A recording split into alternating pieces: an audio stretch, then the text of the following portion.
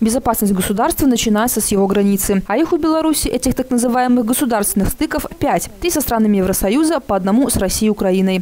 Если выпрямить пограничную полосу, расстояние превысит три с половиной тысячи километров. Это ни много ни мало путь от Минска до Мадрида. Поэтому пограничная безопасность – приоритет политики нашей страны. А учитывая непростую политическую ситуацию в соседней Украине, приобретающую, увы, явное очертания гражданской войны, это выражение особенно актуально. Огромный поток беженцев, хлынувший с южных рубежей, а также угроза угроза вооруженного конфликта – события, которые вызвали вопросы у журналистов в ходе открытого диалога с Александром Лукашенко 29 января текущего года.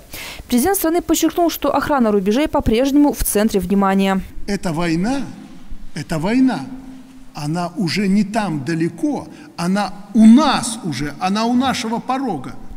Это уже влияет на, на нас, начиная с того, что несколько десятков тысяч беженцев уже на территории Беларуси. Нам приходится спасать своих людей, это же не чужие люди. С детишками сюда приехали, это нагрузка. Это уже приходится нам границу очень жестко закрывать.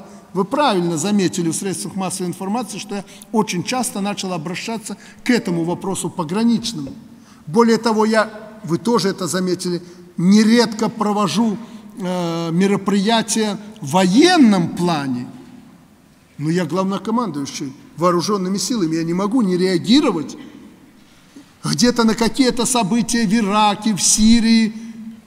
В каком плане?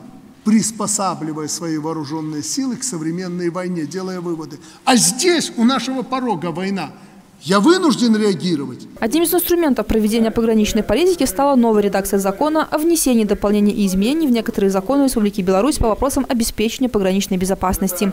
Положение в документе в первую очередь направлено на усиление надлежащего режима на границе, обеспечение охраны рубежей синекой, четкое определение векторов пограничной политики Беларуси и минимизация существующих проблем. Темы, которые были затронуты в ходе пресс-конференции президента страны, нашли свое продолжение сегодня на заседании комиссии по вопросам проведения государственной пограничной пограничной политики. Говоря об итогах, председатель Государственного пограничного комитета страны Леонид Мальцев подчеркнул, что прошлый год был непростым, но плодотворным. Осложнение обстановки в Украине, подготовка и проведение зимних Олимпийских и Паралимпийских игр в Сочи и хоккейного первенства в Минске явились для нас ключевыми событиями, показавшими, что мы способны выполнить любую задачу. Работу, которая на протяжении прошлого года велась в Брестском регионе, можно назвать масштабной и разноплановой. Увеличение пределов пограничной зоны и полосы на белорусско-польском и белорусско-украинском участке границы, проведение учебных сборов на базе Брестской пограничной группы, а также эксперимент по формированию экскурсионных групп на пограничный остров в Брестской крепости.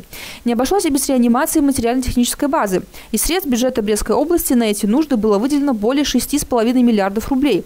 Отдельной строкой в деле инженерного обустройства стоит совершенствование вопросов применения авиации, в интересах обеспечения пограничной безопасности. Мы отказались от высокозатратной вертолетной техники и начали процесс внедрения беспилотных авиационных комплексов и инновационных летательных аппаратов, так называемых автожиров.